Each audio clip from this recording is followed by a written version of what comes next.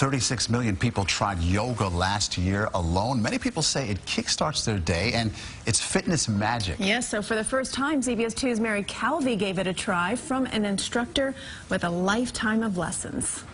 Stretch and back to center. For my first yoga class, I wanted an instructor who had flexibility. Bring your knees right up towards your chest. Endurance. I'm exhausted already.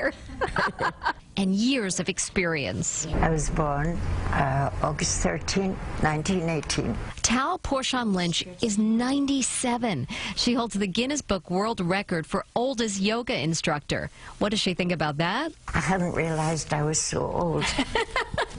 For her, stretch. There is no such thing as can't.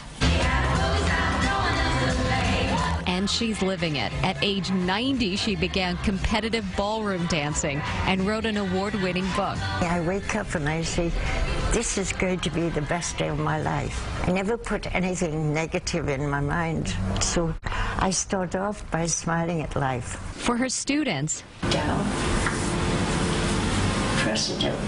her near century of insight is inspiring. When she started yoga, girls didn't do yoga in 1926. Mm-hmm. And so it's unusual to have a female master at her level. I'm trying to keep up with her. it's not easy. Age has not minimized her flexibility or her memories. I marched with Mahatma Gandhi when I was 12 years old.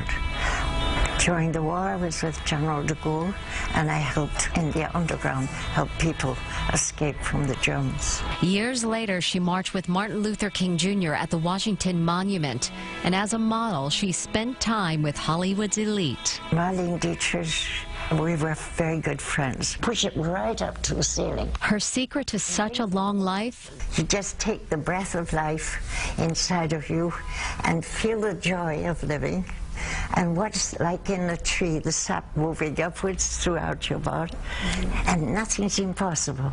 Easier said than done for me. How long do I hold this for?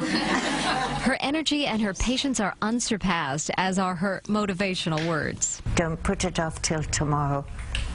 Tomorrow never comes. And so there went my first yoga class with an instructor for the ages.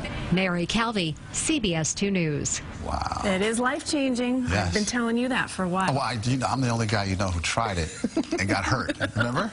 Well, you got to take it slower. Is that take what it, it is? slower the next time. I yes. think we're in love with her. Oh, I She's love her. She's amazing. What love, an attitude. Love, love her. All right, that's going to do it for us here at 5. We'll see you again at 11. The news at 6 starts right now.